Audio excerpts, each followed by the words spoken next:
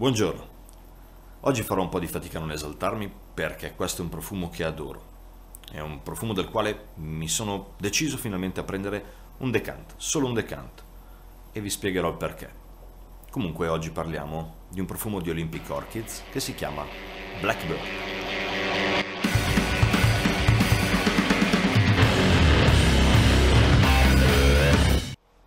Ciao!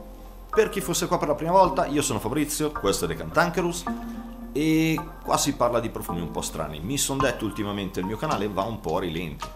Sono 900 iscritti adesso, dopo più di un anno che sono su YouTube, bisogna fare qualcosa di diverso, bisogna parlare di cose che portino un po' di persone. Ho detto faccio una... siamo vicini a San Valentino, potrei fare una bella lista di top 10 profumi di San Valentino, che non ci sarebbe niente di male e invece no, e invece ho deciso di parlare di un profumo che nessuno conosce, o comunque pochi conoscono, di cui quasi nessuno parla e che è abbastanza particolare.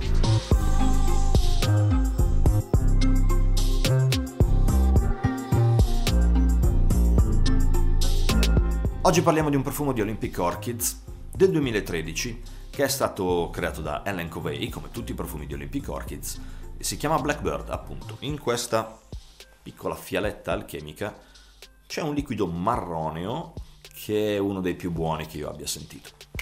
Almeno di questo brand. Le note in questo profumo sono balsamo di abete, muschi, cedro, elemi, ma soprattutto una mora. Una mora. La mora all'interno di questo profumo è dolce, acidognola, è un po' aspra, è una mora matura. È un odore fruttato che si fa sentire tanto, risalta tantissimo sul profumo, ma non è un profumo solo in nota. Non si sentirà solo questa nota. Sotto l'odore pungente, dolciastro, acidulo della mora troviamo come un eco balsamico, dato probabilmente dal balsamo di abete e dall'elemi. Questo balsamo di abete dà anche una sfumatura più verde al profumo. Infatti, diciamo che durante il cuore questo profumo prende una caratteristica, una sfumatura un po' più verde. Il balsamo di abete in questo profumo dà appunto una sfumatura più verde, quasi mentolata, più fresca. È un po' come se insieme alle more fosse stato spremuto tutto, tutto il cespuglio di more. Troviamo queste sfumature che sono un po' erbacee, ricordano un po' delle foglie, ma sempre un pochino pungenti, sempre un pochino appunto mentolate, balsamiche poi c'è una nota legnosa di fondo, ma appena appena che si sente proprio sottile sottile. Quindi il tema principale di questo profumo è appunto la mora. Ma non è una mora che fa tutto da sola, si lascia accompagnare e trasformare dalle note che la accompagnano. Non è però un profumo che rimane timido, non si lascia trasformare in modo da perdere la sua potenza.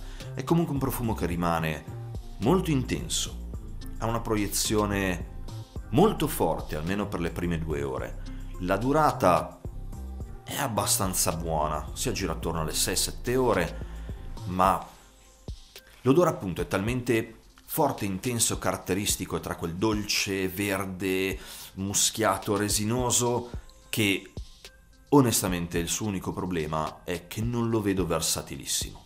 È fresco e verde, ma viene tanto sfumato dai colori caldi della mora. È dolciastro e fruttato, ma viene tanto sfumato dagli odori più freschi e legnosi. Quindi non so bene dove collocarlo e questo appunto è il suo problema, perché il profumo è molto buono, ma alla fine ne ho comprato solo un decant.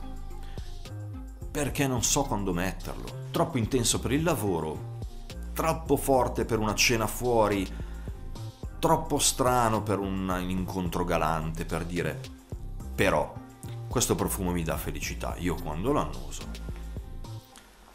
mi sento bene, mi piace, è buono, mi esalta, è un profumo che forse vedrei bene per l'aromaterapia. È buono, è un profumo buono, è un profumo che dà sicurezza, è un profumo che mi fa immaginare di essere in un angolino, non in un bosco, ma in un angolino in mezzo alla natura sicuro, protetto, tranquillo.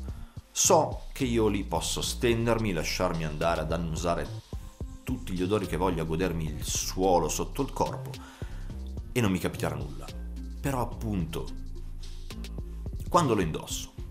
Quindi questo profumo per me rimane da indossare per me stesso. Si mi rendo conto è un problema mio, non è un problema del profumo, infatti io vi consiglio di sentirlo perché merita, merita tantissimo.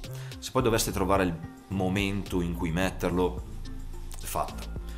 Questo profumo è grandioso e sono sicuro, sono sicuro che vi piacerà tanto. Andiamo alle prestazioni, come dicevo, non sono eccellenti, non sono enormi, almeno come durata. La proiezione è più che ottima, dura qualche ora. La proiezione eh, dura qualche ora. Poi si avvicina un po' alla pelle, però ci sono giorni che mi dura anche 8-9 ore. Altri giorni che dopo 6 ore fatico a sentirlo. Poi dipende anche cosa fate durante la giornata, dove ve lo spruzzate, quanto, se ve lo spruzzate sui polsi, quanto poi li appoggiate in giro. Come al solito, il fatto che davvero la proiezione, la, scusate, la durata varia dalle 6 alle 8 ore. Comunque buona. Però, visto che tutti pretendono una durata infinita, non è un profumo infinito. Però ne vale davvero davvero la pena. A chi consigliare questo profumo? A quelle persone che apprezzano i profumi fruttati o a quelle persone che vogliono un profumo che ricordi un po' la natura.